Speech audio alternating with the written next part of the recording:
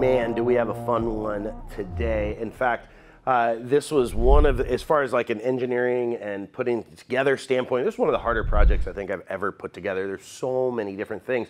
Um, what an infinity cube is, it's, it's a line that is continuous around a cube, so it's never broken. So basically you have 18 right angle joints, whether they're counterclockwise or clockwise, uh, and it goes around this entire cube. When I pitched this idea to a few of my friends, they said it was impossible in wood. I've seen these out of metal before. I don't think it's ever been done out of wood.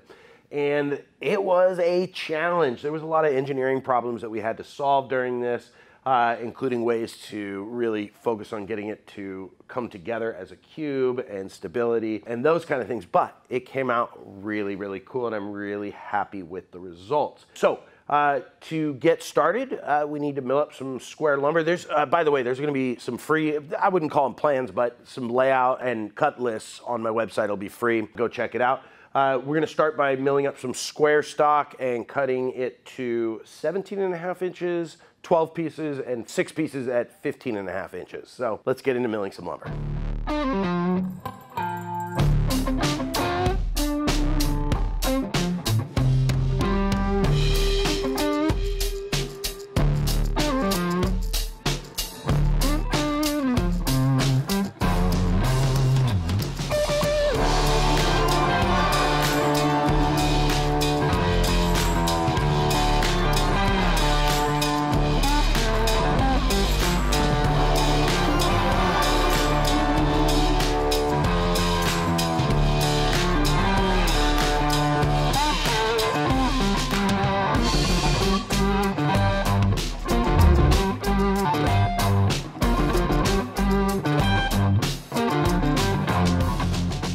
That was a lot of milling, but now we're getting into the really fun stuff and also the very confusing stuff. To do this, I actually 3D printed a model to sort of help me visualize how this is going to work.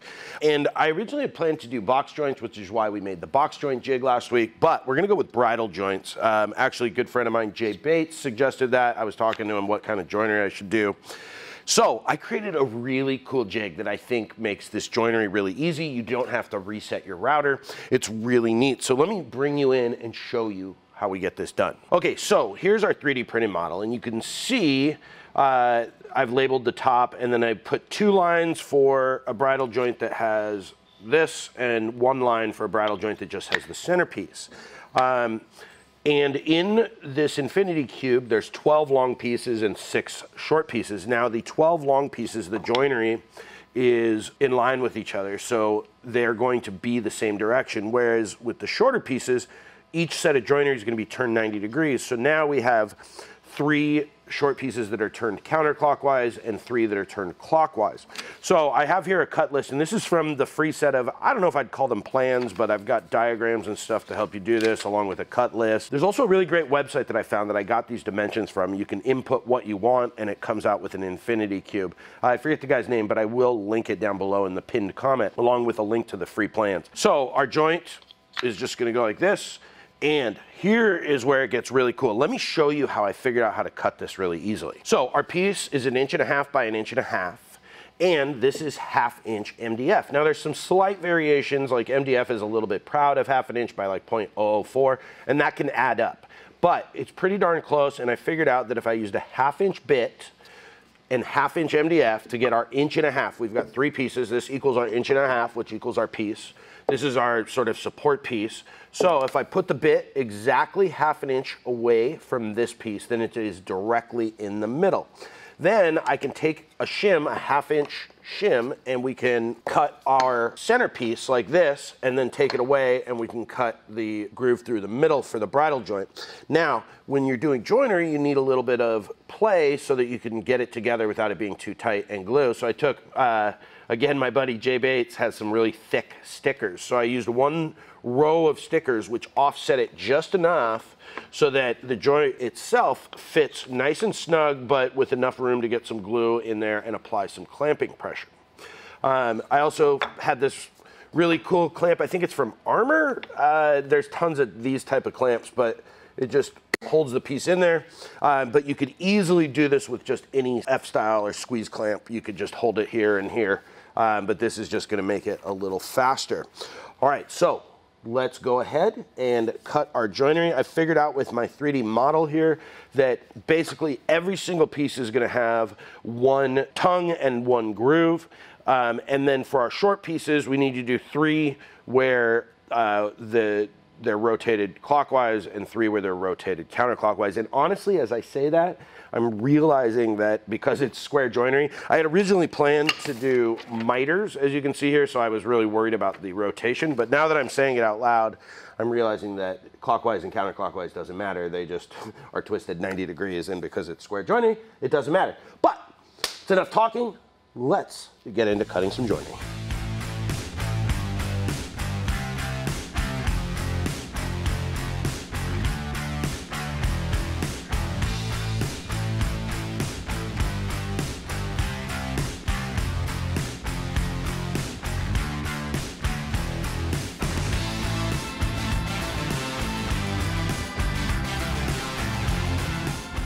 Okay, so we got the joinery done. I, you know, I made all those router videos where I said, oh, clear out some waste before you do it. And honestly, you could, you, depending on your router table or your router that you're using, clear out some of that waste before you cut these, make it a little bit easier. But all in all, pretty simple, went pretty easy. The only thing that happened was at one point my router bit dropped a little bit, so my collet was a little loose. So I went back and tightened that and then went through and checked all the joints. Uh, now we're gonna do the glue up. I tried to mock it up, but there's no way you're putting this whole thing together without glue. It's just not gonna happen. Uh, so we're gonna go ahead and put together groups of three, which is two longs and a short.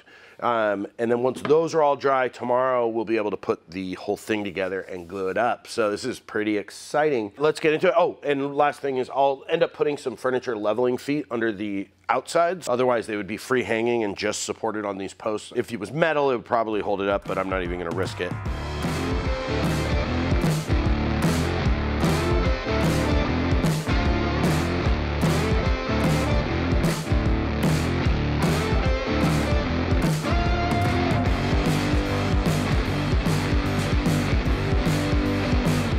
We finished our first glue up. We're gonna go into our second glue up, and you may wanna sand here. Originally, I think before the first glue up, I said I was gonna glue it into pieces of three. I was glad I stopped and thought about that because that would not have worked.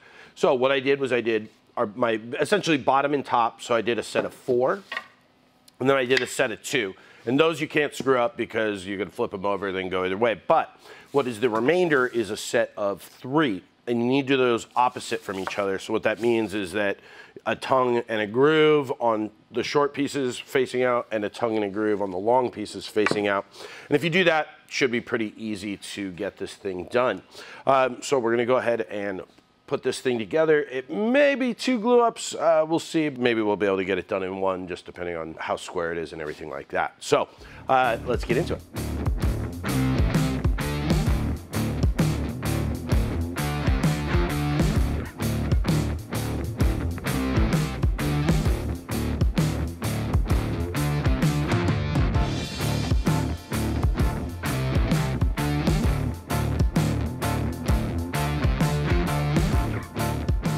Right, it's a new day. We got a new haircut and we are ready to get this thing wrapped up. Our glue up is done. One of the things I was super concerned about when we were gluing this up that all these joints were perfectly 90 and they all are. One thing that I didn't really think about is how necessary it was for them to be ultra flat. I wish I had maybe clamped them down on a flat surface as well as clamping them together. But a good woodworker doesn't not make mistakes. They know how to fix them. So I have a solution which is I have some cast acrylic here uh, in half inch, which should be rigid enough. If not, we'll beef it up to the one inch, but I don't think we'll need to.